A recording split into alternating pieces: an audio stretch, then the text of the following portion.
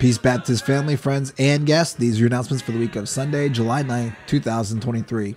If you're interested in joining the worship team, please see Maria Bates, our Minister of Music, after worship service or contact her at 513 652 1273 or Maria Bates at 0725 at gmail.com. The NAACP block party will take place on Saturday, July 15th from 11 a.m. to 4 p.m. at Samuel Lock Park on Reading Road and Rockdale Avenue. This is the front yard of South Avondale Elementary, and this is a free, family friendly event. We will have communion on Sunday, July 16th. If you'll be joining virtually, please have your elements prepared at the beginning of worship. Please save the date. The Women of Peace will be taking a day trip to Louisville, Kentucky to shop at Matthew Shopping Mall on September 30th. There are many other amenities for fun and fellowship we will travel by charter, and the cost is $50. If you are interested, please contact Angie Brown for more details. Be praying for Thomas Connor as he attends his first mission trip. This week, he'll be traveling to Dayton, Ohio, where he will spend the week teaching vacation Bible school and leading prayer for children of refugees from South Sudan, Burundi, and Eritrea. He's very excited. We want to keep him lifted as he shares Christ with others.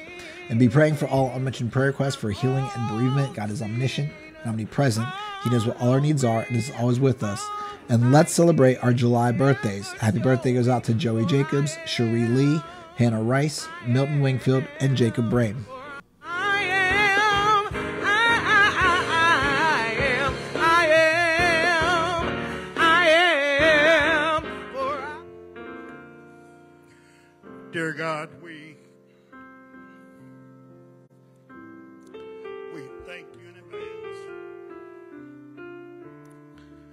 for your word that will go forth today.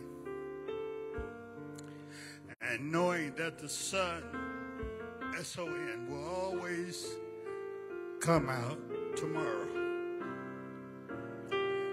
Now, God, have your way. just now. In Jesus' name,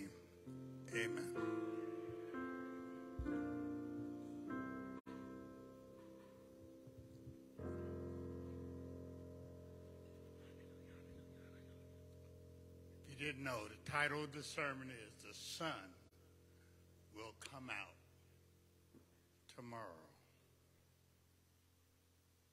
The Bible declares that faith is the substance of things hoped for, the evidence of things not seen.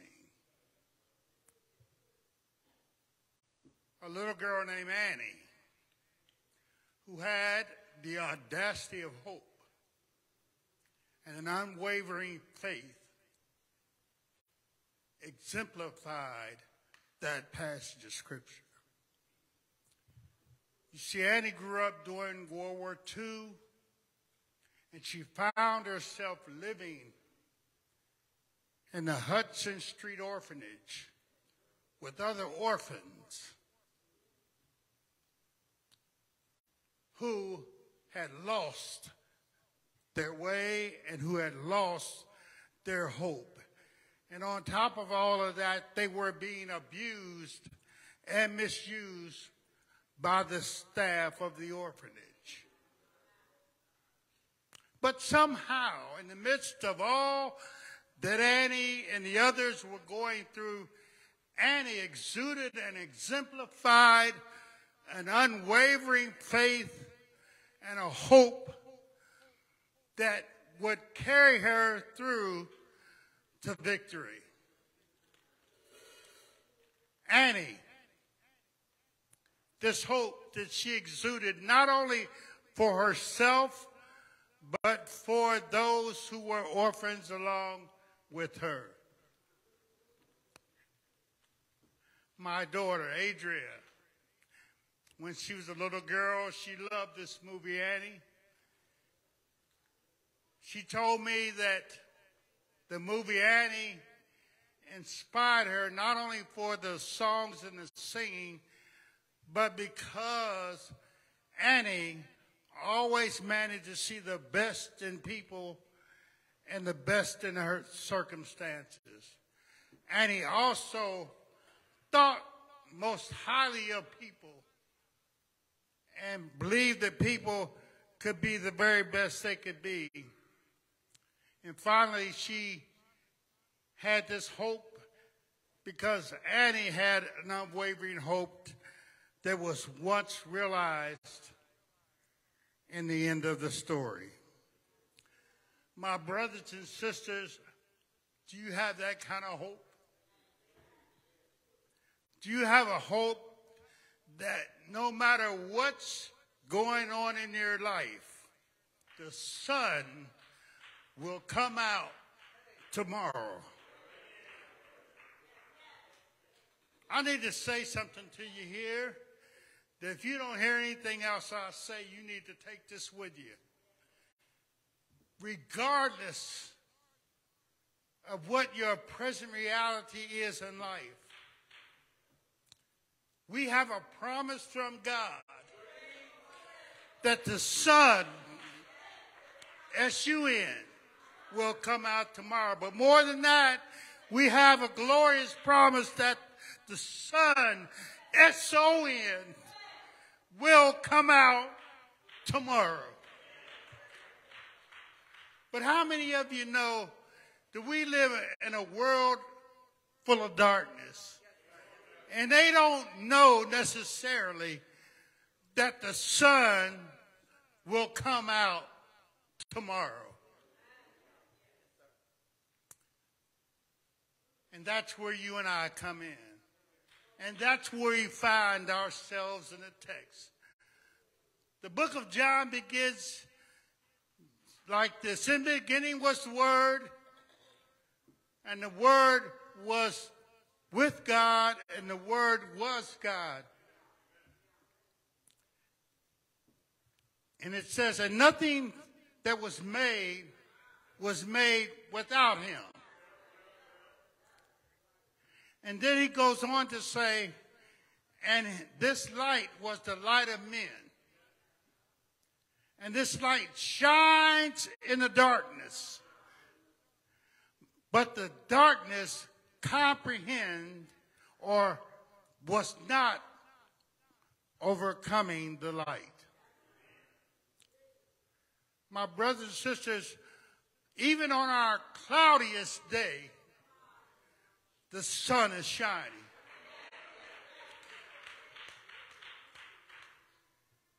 In the state of Washington, where it rains over 340 days a year, and they see very little sunshine, the sun is still shining. And regardless of what you and I go through in life, regardless of what our lives look like and our reality is, the sun is shining. But the question is, how will those who are in darkness know that the sun is shining, that the sun will shine and come out tomorrow. How will they know? Beloved, this, this text, can I give you the backdrop first? This text literally starts in chapter 3. You see, Jesus met a man there named Nicodemus, the ruler of the Jews. And the Bible says this Nicodemus came to Jesus by night. And he wanted to know if Jesus was who he had heard that he was. And then we move a little further and then in verse 5, it says, Peter and John, James and John were going up to worship. And they entered this colonnade, this temple, if you will. We know it as the place Bethesda. The word Bethesda means house of mercy. Can I stop and parenthetically insert right here the church ought to be a house of mercy.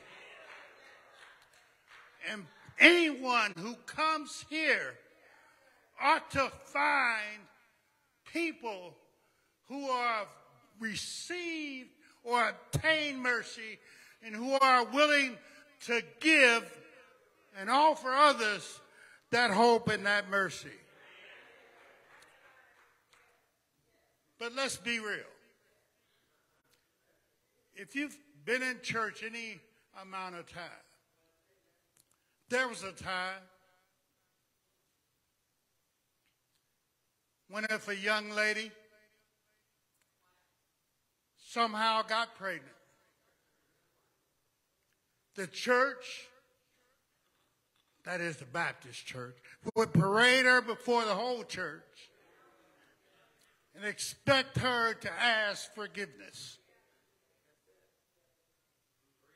And that's where we find ourselves in the text. This lady, who is a woman of the night, it says she has been brought before Jesus,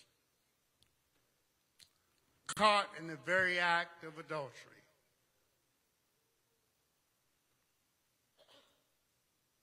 And Jesus was expecting the church to be the church. And y'all say, I don't see that. It says the Pharisees and the scribes, those religious people of the day, Jesus was expecting them to be like him and be people of mercy and uh, forgive this woman and let her go on her way. But no, they were condemning the woman. The Bible says there's there now no condemnation to those who are in Christ Jesus, who walk uh, not after the flesh, but after the spirit.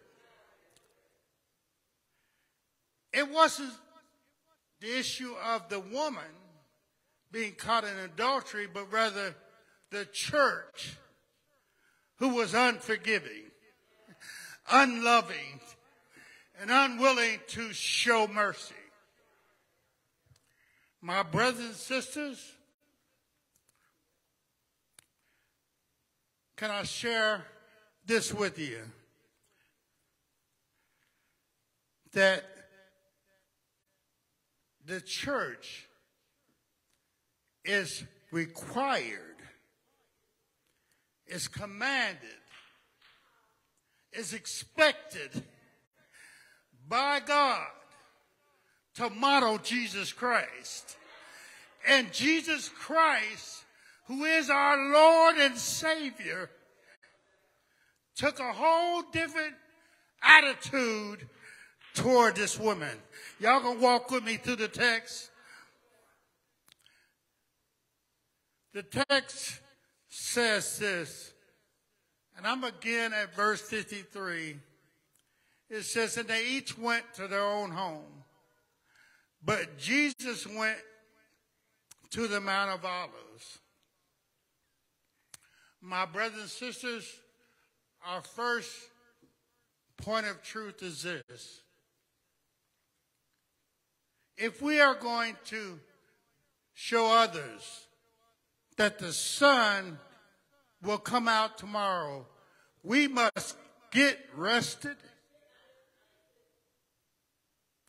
and shine by sharing the gospel with others. We must get rested. You say, I don't see that.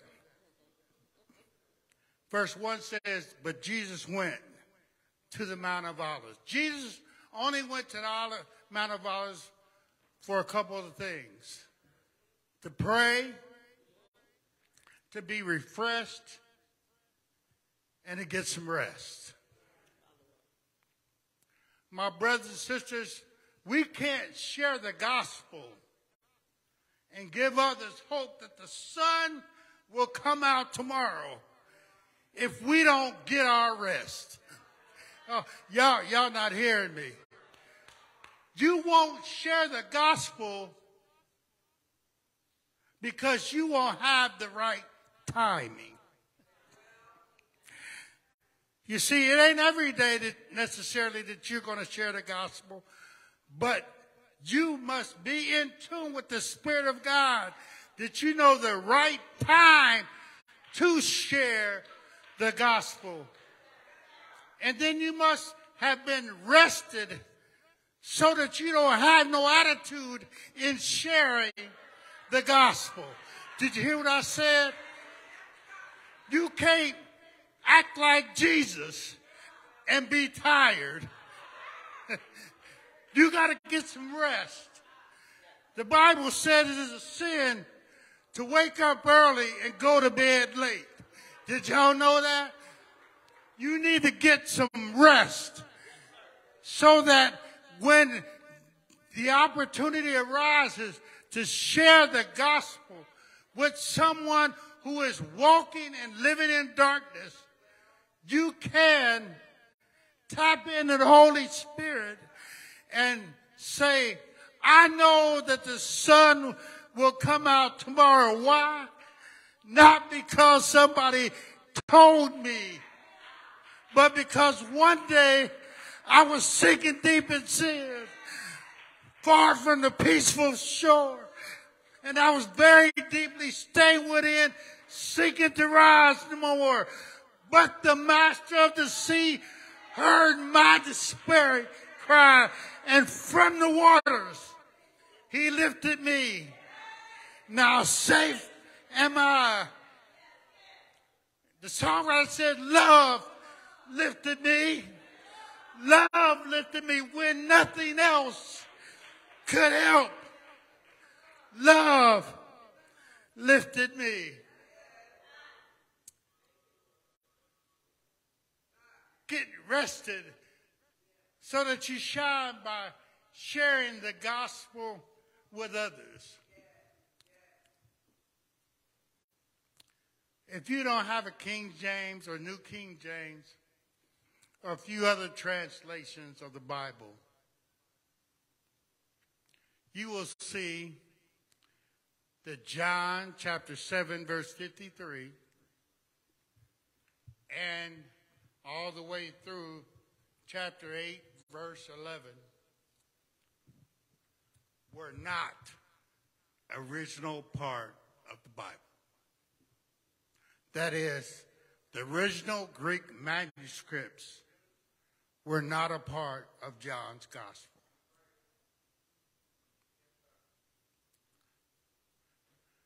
But how many of you know that all of God's word is not printed in 66 books?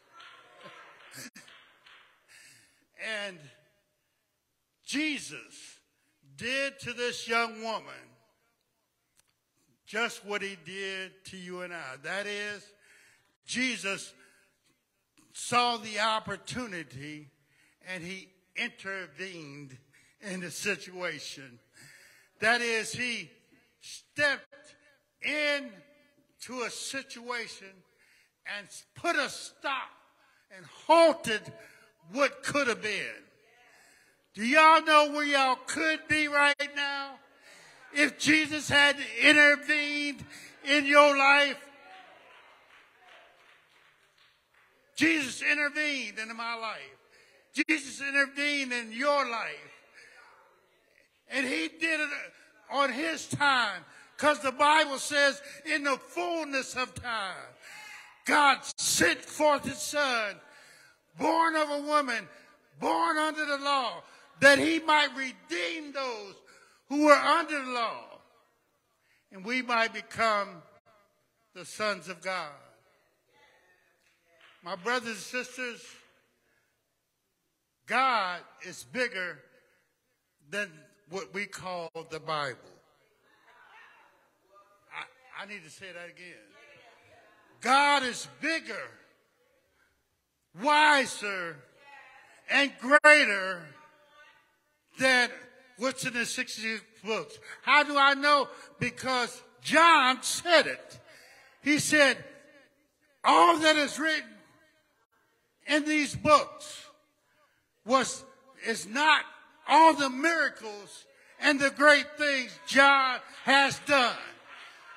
John 20, verse 30 and 31. He said, but these signs were written that you might believe that Jesus is God and that beside him there is no other.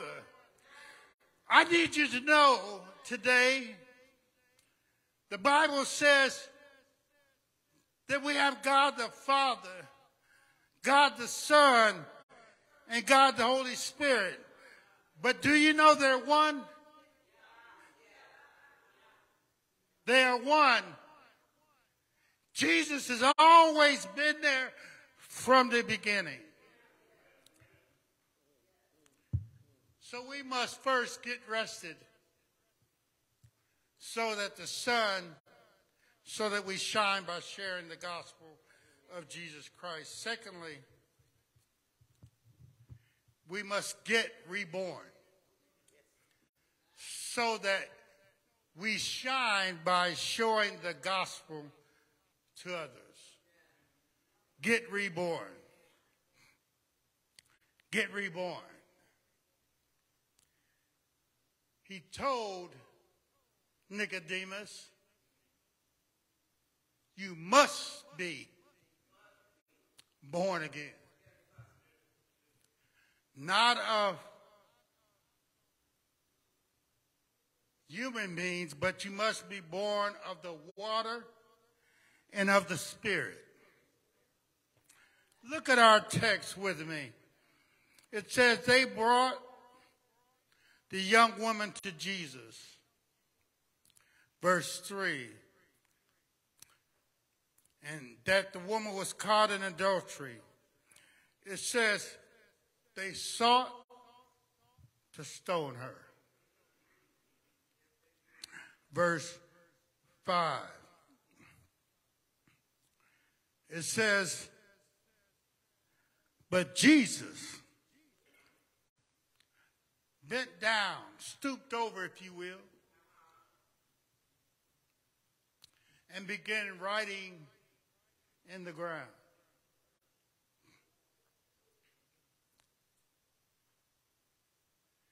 And Jesus stood back up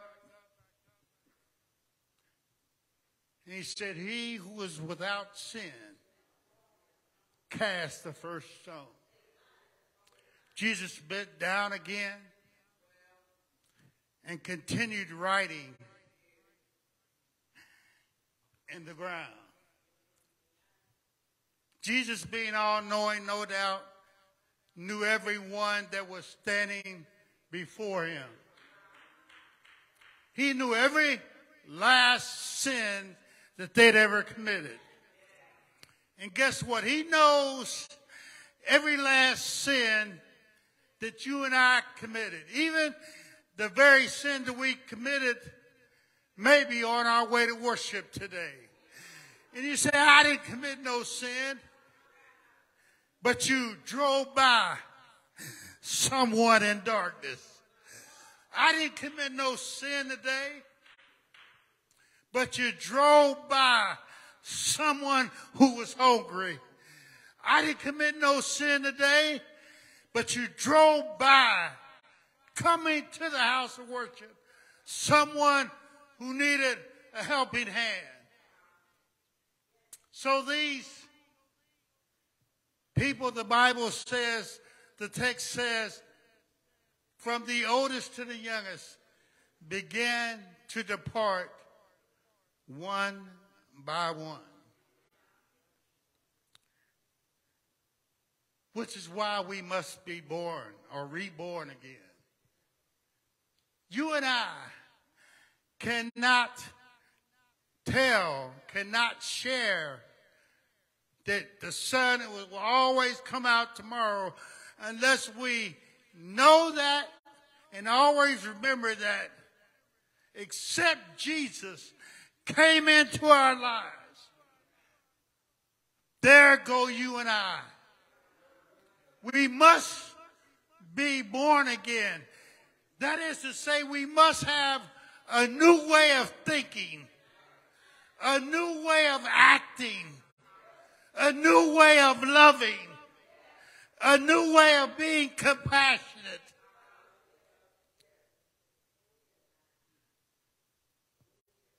We can't judge the young man that walks in here sagging. I'm talking about his pants hanging down. We can't judge the young lady who walks in here who's showing too much leg. We can't judge our brother or our sister about whom we've heard things that don't line up with the word. All have sinned and come short of the glory of God. And you and I must be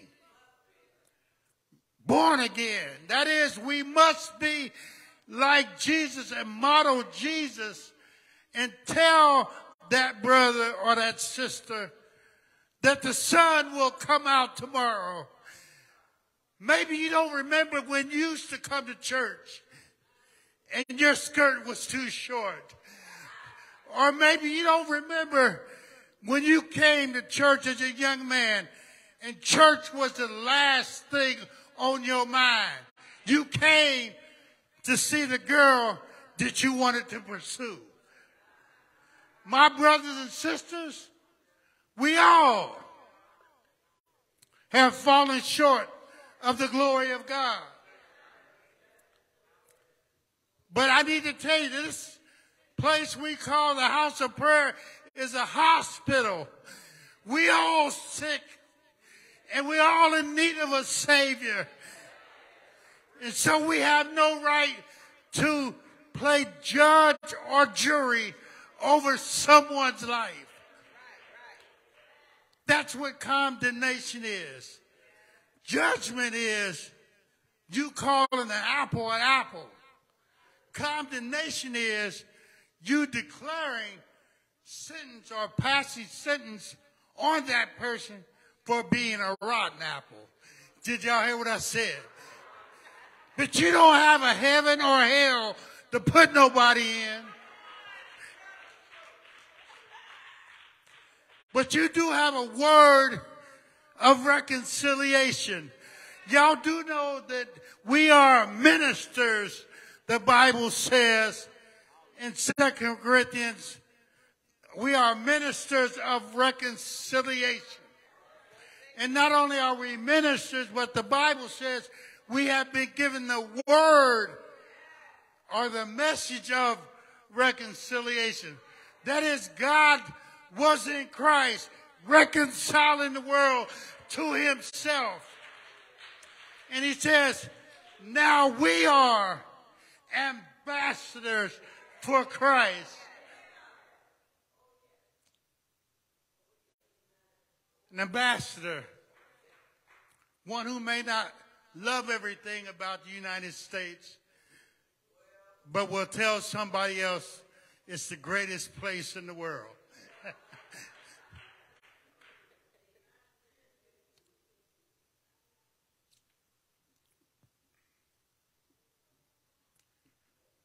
Ambassadors for Christ. Maybe that don't ring true with you. How about this? The Bible says that you are a chosen generation, a holy nation, a peculiar people that once yourselves walked in darkness, who were called out of that darkness into his marvelous light. To show forth the praises of him that called you out of that darkness. And you who were once not a people are now the people of God, and you who have once not obtained mercy have now obtained mercy. That means that everyone in this room, including myself, we got from God what we did not deserve.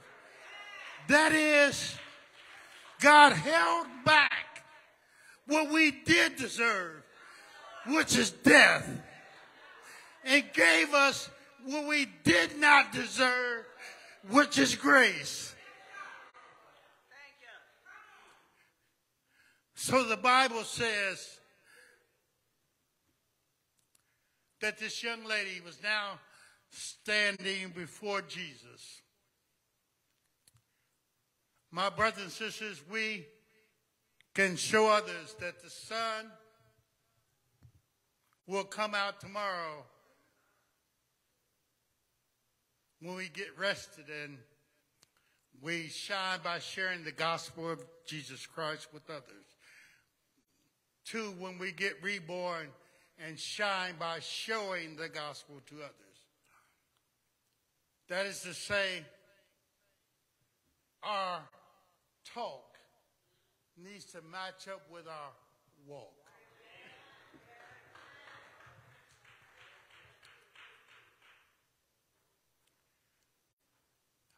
I'll speak for myself.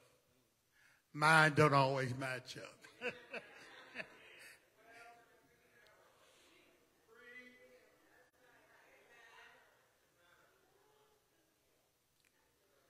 But that's where mercy comes in. And that's where grace comes in.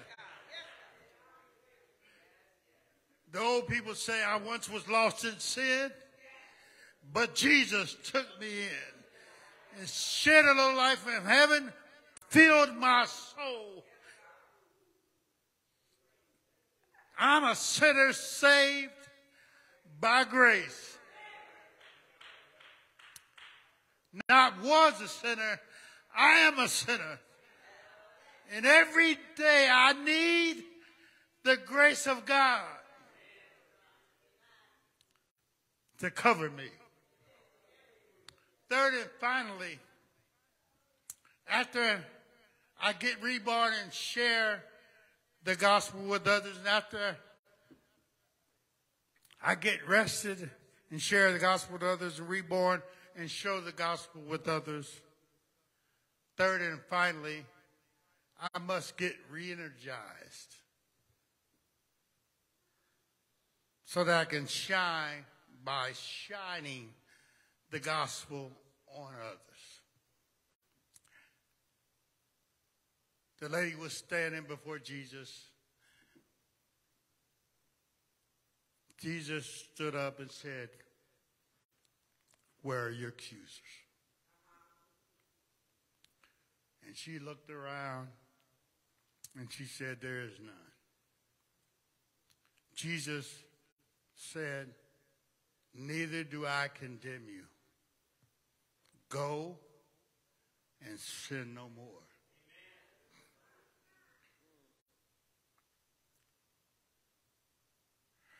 My brothers and sisters, We are children of light.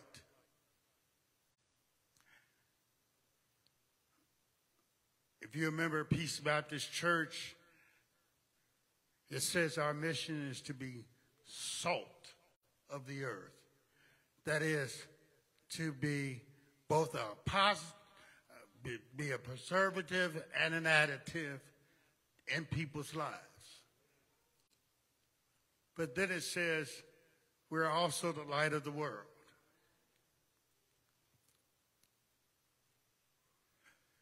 Bridget, I'm going to pick on you a little bit.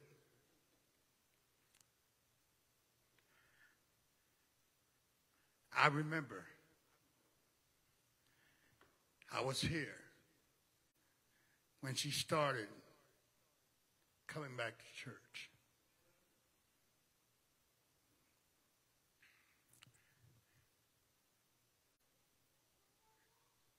And little by little, day by day, she began to shine more and more. She began to model and emulate the Lord Jesus Christ. So much so, when you see her today, there's a glow, there's a radiance about her life. I just believe that part of that radiance is she knows where Jesus Christ found her. And she realizes that God gave her chance after chance after chance after chance. And one day she was like that prodigal son. She came to herself and she ran back to the house of God. But that ain't only Bridget's story. That's my story. And every one of us in here are prodigals. And we came to ourselves and began to run home. But we didn't have to run far till we seen our Father standing there with open arms, welcome us back home. And not only did he welcome us, but he treated us as if we had never done anything wrong. That's what Jesus did with this woman. He said, I know what you've done. He said, but I came not to condemn the world, but the world through me might be saved. I don't know about you, but every chance I get, I just tell somebody, anybody, everybody that their son will come out tomorrow. I know that the sun will come out tomorrow. Not because I was drugged to church. Not because of what my grandparents told me. My grandfather, who was a preacher, my father, who was a preacher, my mother, who was an evangelist. No, that, that's, that, that's not it. One day, after hearing the gospel, that is Jesus Christ being crucified on an old cross called Calvary, stretched, hung high, stretched wide for me and for you, dropped down in a hole and then lifted up. And I heard the Bible say, if I be lifted up from the earth, I'll draw men unto me. I was there that day. And you say, no, you wasn't. yes, I was.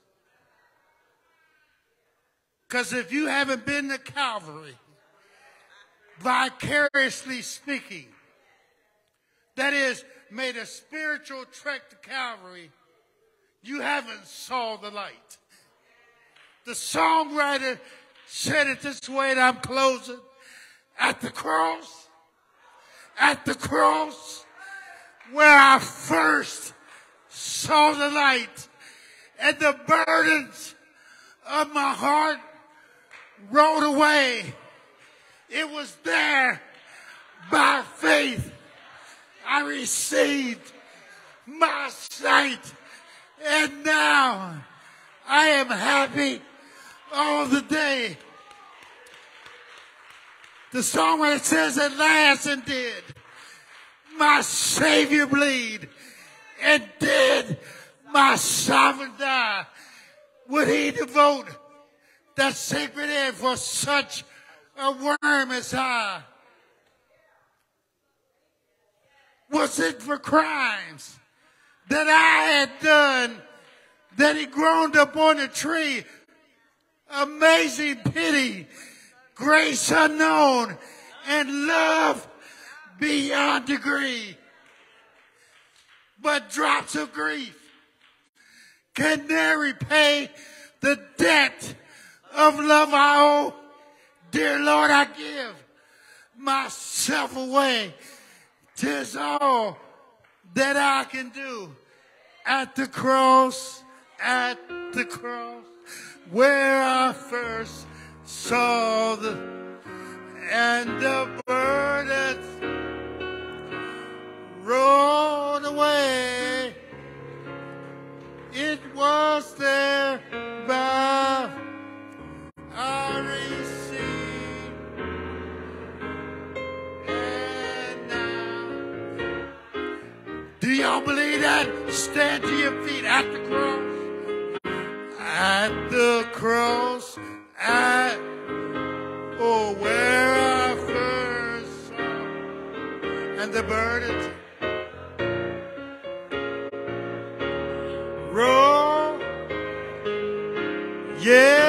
and it was there by I received, and now I am happy. Every head bowed and eyes closed. There may be someone here that's been living in darkness. And before today, you didn't know that the sun will always come out tomorrow. But I stand before you as a living witness that the sun will come out tomorrow. And if you will come admitting and agreeing with God that you are a sinner in need of a Savior. Says if you confess with your mouth the Lord Jesus and believe in your heart that God has raised him from the dead, you shall be saved. For whoever shall call upon the name of the Lord shall be saved. Maybe you're here and you're already saved.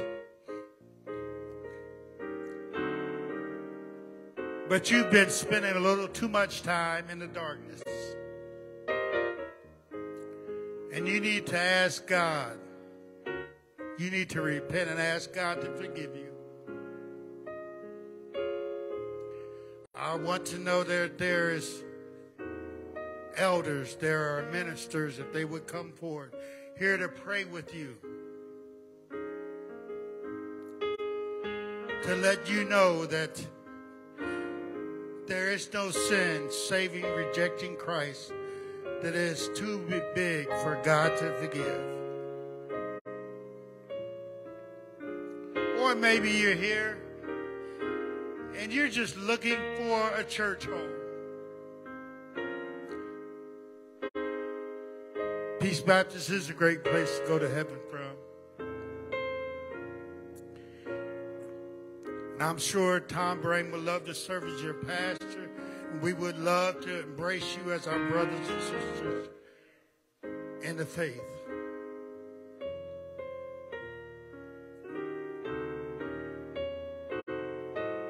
If that is you, my brother, my sister, this altar is open to you now. And now is the day of salvation.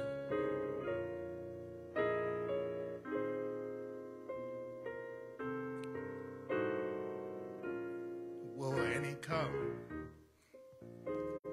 We'll wait on you. As the commercial says, the light of Jesus Christ is on.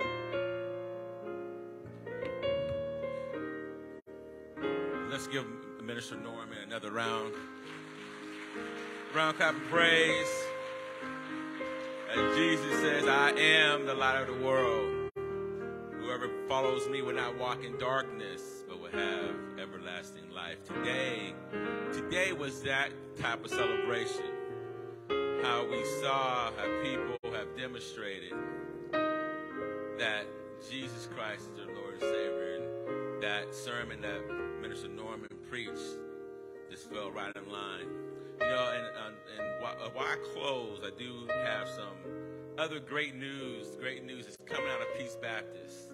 First of all, um, I know Deetra's not up here, but Deetra is a grandma. It's a grandma. And I know Brianna, I saw on a Facebook Live that she's watching. Brianna Connors, her daughter, just had a, a daughter, so we want to congratulate Brianna on uh, uh, having a beautiful baby girl and Deetra being a grandma. So, congratulations. Also, um, uh, I, I, got word that, um, you know, Logan, Logan uh, uh, Cargill, he is in karate, and I guess on the 29th, he's going to go to a tournament. So, we want to uh, uh, make sure that we keep him lifted up. But he's going to be our next Bruce Leroy, you know, the last dragon, you know. but we'll have more details on what time that would be. But um, uh, Alexis is uh, just wanting us to know, and so we can uh, be there to support him. And also, if you did not know, we have a junior Olympian. Devin Thomas made the Junior Olympics. Yes. I guess it runs in a family, right? No pun intended. It runs in a family. But uh, uh, he will be going to Des Moines, uh, Des, Des, Moines Iowa, uh, at the end of the month, right? The end of the month. So uh, just keep him up in prayer. But you know, he is uh, not only is he a fast guy, but he's running for the Lord, I guess. So keep him in your prayers. Keep him in your prayers. And finally, I do. I, I, didn't I plan on announcing this, but uh, we have a, a, a, person who wants to join Peace Baptist, and it's our very own brother Damon Davis.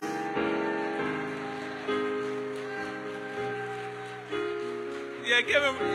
Yeah, you know, we we thank him every week for being our sound minister, our sound person. I guess you want to say. And Damon, I think he thought he was already uh, a member, but I was like, wait, we haven't announced you being a member. You just can't walk into our house and claim that you that you're a member of our family. Peace, back. Nah, no, you you are. But he, uh, I just wanted to announce that, and we'll uh, put him on our books. I'll make sure that he is uh, put on our books as joining Peace Baptist. Thank you for your service, and now thank you for your membership. I mean, uh, yes we do have a visitor. I think she just introduced herself to me. She was uh, brought in by by Damon. Damon already bringing in bringing in people. So I do not know her name, but um, yes.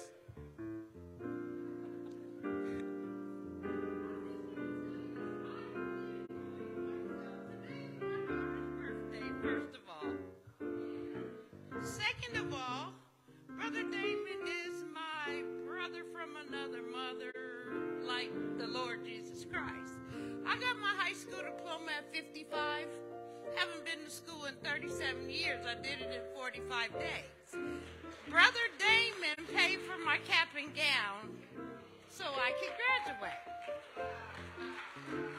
I've been clean from crack cocaine for 29 years by the grace of God. I know the sun will shine. It's gonna shine. And I thank you guys so much because this morning I had no clue where to go. Brother Damon called my phone and said, Come to 652 Rockdale. My daughter used to live in those apartments down the street. By the grace of God, she don't live there no more. And I remember when you guys had a function and I came here, it was several years ago, So God bless all of you guys and all the generations. Thank you very much. Thank you. Yes. Thank you. May we all stand. God is doing something at Peace Baptist. We don't even know it, but He's doing something. And also, I want to make sure that we know that Children's Church is back on. And it's back on. We're going to try to have Children's Church at least three times a week. So, uh, so bring your kids and your kid. I mean, a month. God's doing something. I said a week, so we're going to be here every week. I, will be down here, so you want to bring your kids uh, three times a month. Three times a month. So we are back in the children's church business. Someone said, if you build it, they will come, right? If you build it, they will come. It's already built. All we want to do is have you come, right? All right. Dear Heavenly Father, dear Father, we just thank you. We thank you for your son. The word tells us that Jesus is the same yesterday, today, and forever. And we know that he has come out yesterday, he came out today, and we know that Jesus will come out forever. We thank you. Thank you for the message that's been that was given to us, Father. Pray that as we continue to uh, um, walk this uh, life as of this week, Father, that you will show us literally that your son will come out tomorrow, Father. Protect us as we go throughout this journey. Be there, be there for us, Father. Allow us just to continue to be that beacon of light. For you know that our, our vision is to be the light and the salt in all of our surroundings, Father. Allow us to shine and reflect your Son on everywhere and everyone that we meet. And we'll, we'll forever give your Son Jesus all of our honor, our glory, our belief, and our praise. Amen, amen, and amen. God bless. God bless.